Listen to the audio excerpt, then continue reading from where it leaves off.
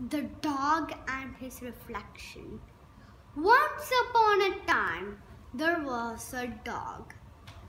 One day, he was crossing a bridge over a stream with a piece of meat in his mouth.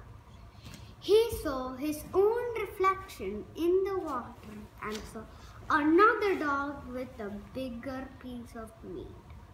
So he said to himself, I want that bigger piece of meat.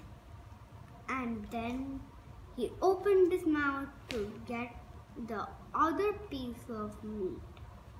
But at that moment, the dog dropped his own piece of meat and the reflection disappeared as well.